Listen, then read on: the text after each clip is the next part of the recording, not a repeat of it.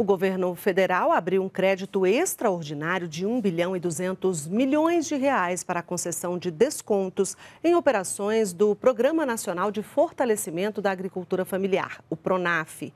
O objetivo é minimizar os prejuízos causados pela estiagem, principalmente nos estados de Santa Catarina, Paraná e Rio Grande do Sul e também no Mato Grosso do Sul.